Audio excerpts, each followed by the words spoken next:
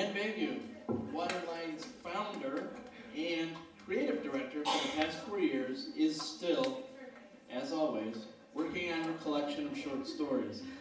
This one is a departure from her usual work, and what you should know is that due to the 10 minute time limit and the fact that one section of it hasn't come to her yet, she's reading about two thirds of it. Um, I read it, and as she says here, and I agree, it still works. So, Anne, please, on.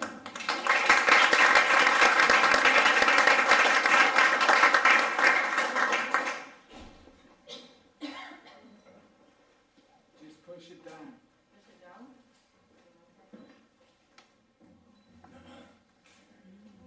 Thank you, Frank.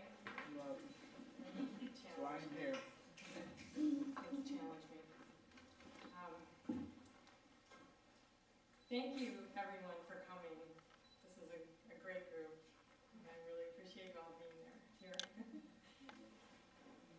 Um, I want to invite you to put down what you've been carrying, to experience anew the rebirth of life on our planet home. There is some audience participation, but all you have to do is breathe. This is aspects of the dance and other as- apparitions. At first you hear the humming, the full resonance of breath song, the rush and roar of blood tide, the steady heart's downbeat, one fraction of second before wing stroke eyelashes open. The blinding heat parts to reveal slowly an eye already yielding a smile. And stifled yawn, waking, one by one by one by one, is like waking into a thousand mornings. And as one day dims, the heat of one sun is lost. And as one day dawns, the heat of one sun is gained. Day waxing, night waning, so, so, so pulsing, sense by sense unfolding, what's furled unfurling, morning swollen, imminent, the birth of this day. What is it? Who is this sitting on my knee? Who is this whispering into my ear? Ah, it is you, my dear, you again. Yes, again. Is it time? Yes, it is time. Come. Now there is only breath. In, out, in, out, in, and out. Breathe everything inside. Breathe everything outside. Everything breathing. Now he is walking. Imagine walking as he is, on no road with no sun and a wide, white sky. Walking as he is, no cloth at your waist, your own skin limp and sere and brown to the bone, hair endless, hair matted, hair curled and cradling the small souvenirs of your journey, twigs and colored stones, fragrant herbs, buds, blossoms, sleeping creatures, seeds and lumps of dung, a clinging zoo, a hanging garden. Imagine walking on no road with no sun and a wide, white sky.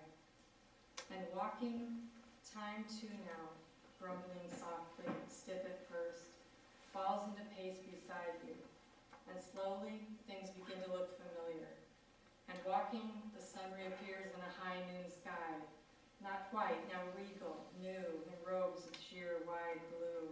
And walking, your clay soles feel, your cracked soles feel, the cracks in your soles feel the old road clay, hot, baked, sun-baked, underfoot, under one foot, another.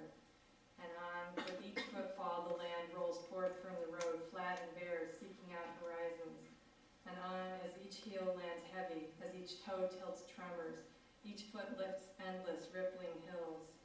And on, tiny jewels form freely on your brow, catching a moment's light, tracing, tracing dusty inscriptions down, down, down the sides of your face.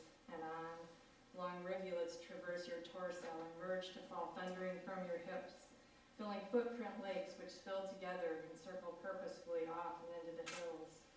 And all at once, the jungle makes its play. Green shoots push forth, live plants cavort, Explore, emboss, slip stitch, recross, then matted, choke, dead end, switch course, where giants brand to seek the sky, fling limbs aloft, flaunt fronded palms that undulate, come hither waves, little shimmy shapes, anticipate, dally, fondly await, sun sideways slide into their embrace.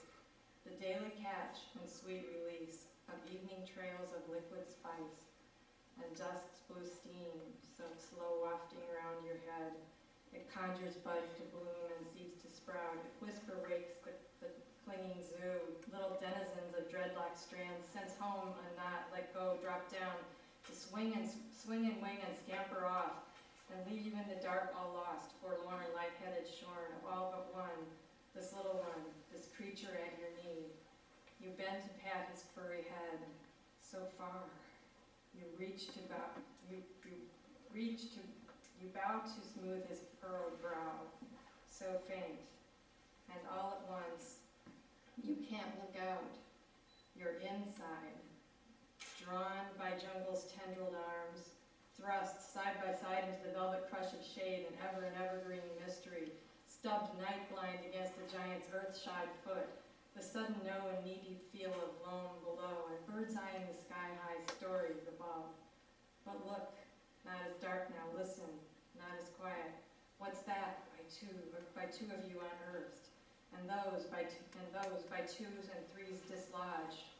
What tongues so palely cloaked emerge so near your feet, so near his knees? He scrambles up your arm, your leg, your arm, clings to your shoulder, shaking, awed. Why, what faint yawns inflate each tongue? Infuse each tiny bell with tones of light, compose the decomposed, fill as if with helium, transmute, mute, fine-tune, imbue with chromatic hues. This multitude, who pull out sudden stops, who become a living launch, a condescent choir, airborne, what halo glows, aloft, what rainbow robes, ascendant, crescendos of light, canopy bound, so far from sight, sound songs, don't flee, don't fight, just look, don't blink or they're gone. You both spin round, look up, heads back to catch bright movement where? The sparkle of a leaf displaced, a bird call flying through you, out your throat and startled, still, still darker than dark night. A hood so deep it renders senses senseless, makes a pulse percussion, hides what secret sly or sacred means, intent on good or ill or nil, by fate or chance or enterprise, attract free-floating gossamer, draw close clone motes of dust, and felt with pressure, warmth, and dew, some matter's mammoth woolly form, a draft of eons, untold strands, spun silk to, to fill each, an endless yarn, spun silk to fill each spindle atlas holds. Ten fingers poised, the balance waiting to unspool. First X, the ankle probe of inching root that seeks to reeve a fix and map. Then Y, made tangle of a dangling vine, its loop adornment, if not plumb. Light axes drawn, snares ready, set, cue drum, though minor chords plant feet in stone paralysis. Cue drums to thunder, thunder, ribs strike chest, too loud to hear, too late detect.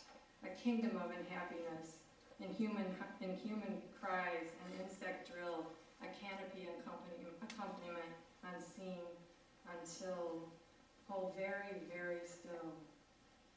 What tiny crawl parts fear dewed tendrils taut with fright? What touch hair triggers fight or flight? From outer back brow side glanced, obliquely cast, don't frown. Skims nose, cross eyes, slopes lobe of apple shriek cheek, don't shriek.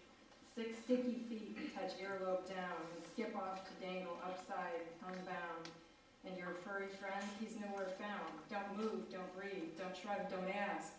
Is it Z or just a threat askance? For if X and Y are joined by Z and L and M and NOP, this cat's cradle masks, obscures, becomes its own reality, a universe from which you cannot see, fate's masquerade in Murphy's strange geometry. But just listen rapt, as life's quirks and follies tune the hue and cry of young humanity. At first you hear the humming, the full resonance, the breast song, the rush and roar, the blood tide, the steady heart's downbeat, one fraction second before wings stroke eyelashes open.